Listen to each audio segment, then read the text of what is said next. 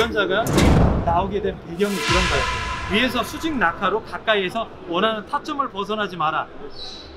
타점을 벗어났다는 건 이 드리퍼, 이 페퍼 자체가 위에 보시면 그 원주름 자체가 위에는 넓어 보이지만 아래는 좁단 말이에요. 만약에 위쪽에서 이쪽에 그 방향성을 갖고 내벽을 쳐버리면 그냥 흘러 내려가 버리게 돼 있어요. 대부분 드리퍼들은 다 그래요. 특히나 양각의 rib 형태는 더더욱이 그걸 벗어나지 못해요. 그럼 우리가 원하는 추출 기전이 나오질 않죠. 물은 언제나 수직으로 내가 원하는 원하는 타겟에 들어가 줘야 돼요. 그래서 현상에 대한 이야기를 많이 하는 게 지연식 뜸들이기입니다.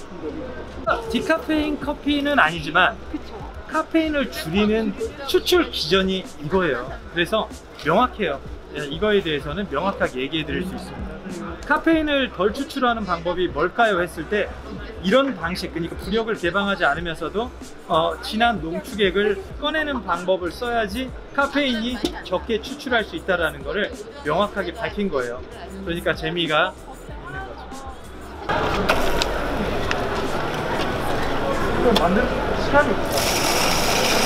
일주일에 나가야 되는데. 야 여기 카메라 있잖아. 그걸 알고 나무.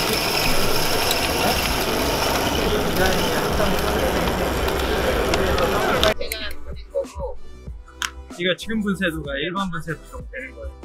이 일반 분쇄에 비해서는 조금 어, 전체적으로 작은 것과 함께 들어와 있는데 한지 때문에 이 정도 분쇄도인데 이보다 좀 작아야 되겠죠. 오해할 수 있어요. 이제 이런 말 할 수 있어야 되는데.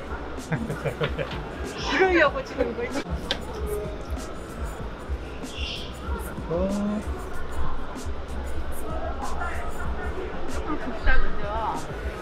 거도 괜찮습니다.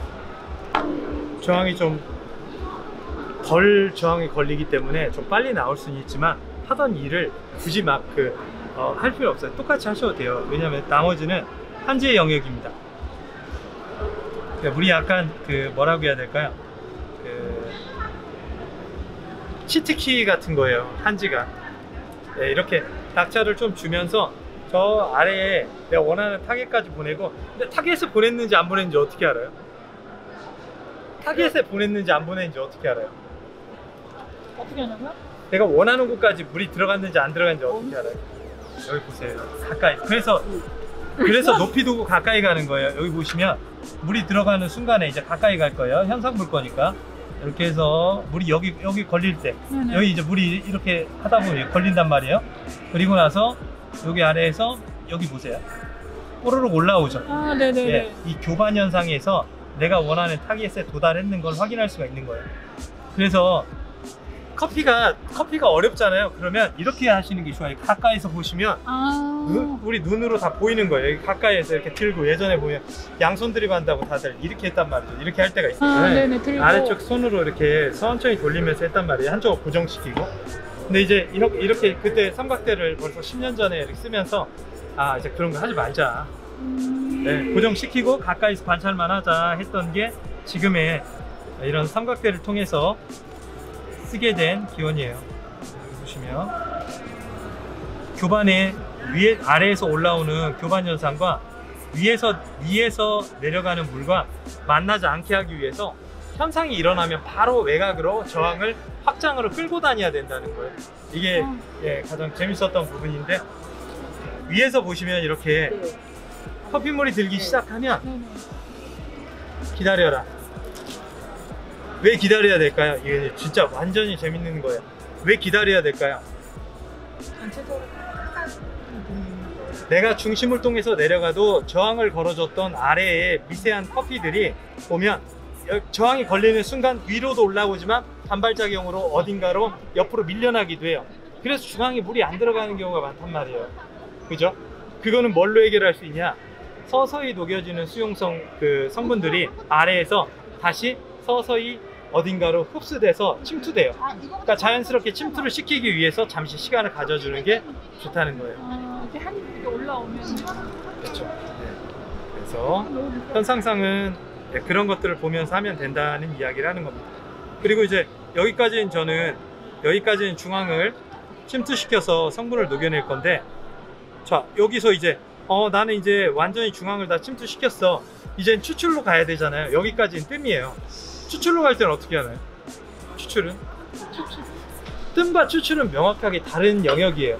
뜸하고 추출을 함께 보는 추출이 이 지연식 뜸에서는 어, 이 추출과 뜸을 별개로 보고 진행을 해줘야 돼요 별개로 보고 진행을 해줄 때 이게 완성되는 거예요. 그러니까 똑같이 앞에서 했으니까 뒤에서도 똑같이 해주자. 이게 안 맞는 거예요. 그래 어떻게 해주죠? 채워주기만 해주는 겁니다. 이제 안쪽까지 흡수돼서 서서히 녹여져서 아래쪽은 무게, 무거운 밀도 점점 점점 light한 밀도가 위에 있다면 그 다음부터는 채워주기만 해도 돼요. 가까이서 물을 막 쓰더라도 물을 막 쓰더라도 채워만 주시면 돼요. 이렇게. 되도록이면 몸을, 몸을 써주시는 게 좋겠지만 채워주는 데에 물을 써주시고 현상을 강제로 끌어내는 데는 뜸들이기에서 끝내줘야 돼요 왜 그럴까요? 왜, 왜 그럴까요? 경험이, 경험 없으세요? 중간중간에 현상이 동반돼 버리면 아려져요 날카로워지고 커피가 그 현상은 벗어나지를 못해요 그래서 어, 앞에서 뜸이 끝났으면 뒤에서는 끝날 때까지 주되게 다른 일을 하지 마시고 채워주기만 하셔도 된다는 거예요. 근데 대부분 뜸을 제대로 못 들여가지고 커피가 엉망으로 나오는 경우가 많아요. 뜸을 제대로 못 들여가지고. 막 이거는 추출 기전 중에 지연식 뜸들이기에 대한 이야기를 해드리고 있는 거예요. 중간에 다른 일을 하지 마시고. 그리고 물, 물이 끊어지면 안 되는 이유도 동일한 이유에서요 이렇게 물이 여기 이렇게 했다가 잠깐 끊어졌다가 다시 이어졌다가 끊어졌다가 이어졌다 끊어졌다 하면 어떻게 된다고요? 맛이 아려져요 아려져 여러분 쓴맛 있잖아요 커피의 쓴맛이 어떤 걸 쓴맛이라고 하는지 아세요?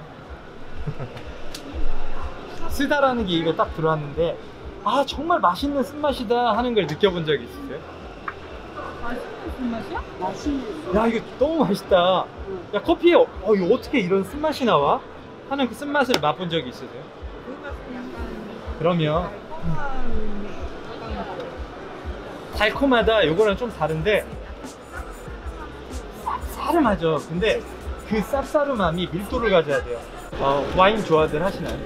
그럼 빨리 가서 그 저기 백화점이나 이마트 이런 데 아니면 인터넷으로 F Negro 그 Amaro라는 amaro가 쓰다라는 뜻이래요 F Negroamaro 이태리 와인을 한 병 사서 마셔보세요 그럼 마실 때 후미에 남는 쓴맛이라는 개념이 커피와 얼마나 매칭이 되는지 알 수 있을 거예요. 정말 맛있는 쓴맛은 커피에서 그걸 내가 쓴맛의 개념을 모르는 사람 굉장히 많아요. 야 도대체 쓴맛이 뭐 어디? 야 이거 그냥 다들 이러죠. 아 막 아 이거 아 써 써 막 막 이렇게 얘기하잖아요. 그게 아니라 아 좋다 하는 말이 나와야 돼요. 커피의 쓴맛은 아주 부드럽고 미끌미끌거리고 입안에서 오일로 돌면서 짝짠했을 때 마시고 나서 입에서 그 신맛이 아주 기분 좋게 남아야 돼요. 그래서 이태리 와인 중에 아마로라는 와인을 마셔볼 필요- 필요가 있습니다.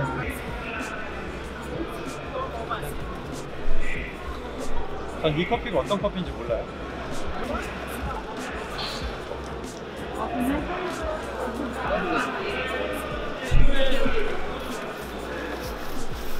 소시시 하네요. 맛이